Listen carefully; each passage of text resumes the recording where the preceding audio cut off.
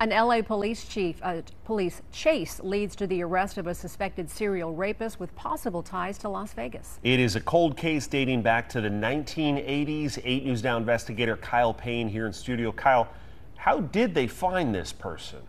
Denise Bryan, an investigation by the U.S. Marshals here in Las Vegas breathed new life into this case, and their regional task force located the suspect, 71 year old Stephen Gale, in L.A.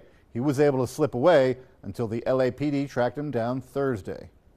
Been up and down the 405 freeway a couple times. The maroon car in the middle of your screen took the LAPD on this slow speed chase Thursday evening through West Los Angeles for more than an hour until chopper footage from 8 News Now's sister station KTLA shows police capture the suspect wobbling out of his car, apparently in distress.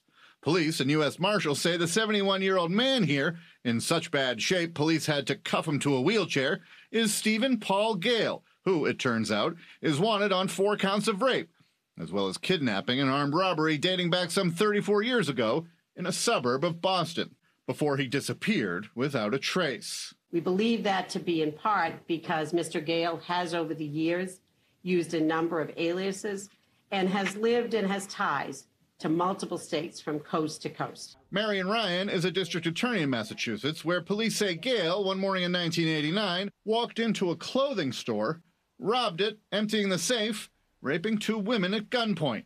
Using new DNA technology, investigators took DNA samples of Gale's family and compared it to DNA collected at the scene, confirming his identity.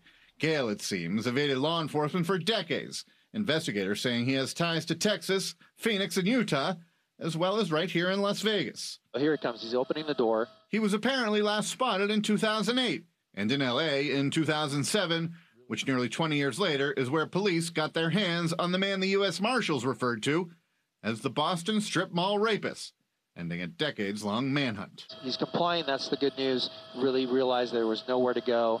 And obviously, in this condition, he was not, not able to run. Notara news stations in Boston are reporting Gale may have had ties to organized crime. Coincidentally, one notorious Boston mobster was found in Santa Monica after decades on the run, not too far from where Gale got busted Thursday night. Denise.